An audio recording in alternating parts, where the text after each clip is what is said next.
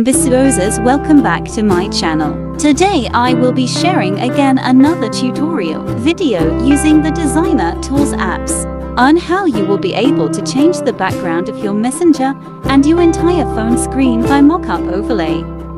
First open your Play Store. Search the Designer Tools apps on the search bar.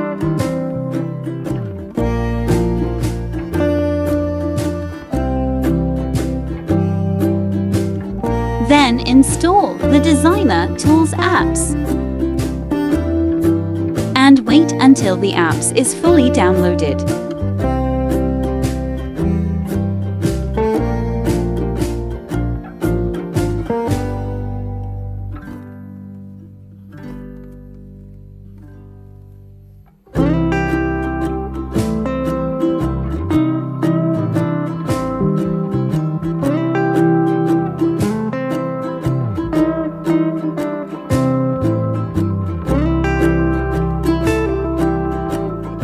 After installing, try to open the apps.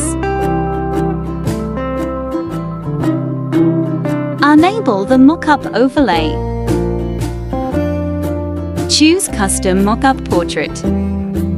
Then proceed to your gallery and pick for your preferred mockup overlay photo. After choosing your preferred photo, set the opacity into a 100%.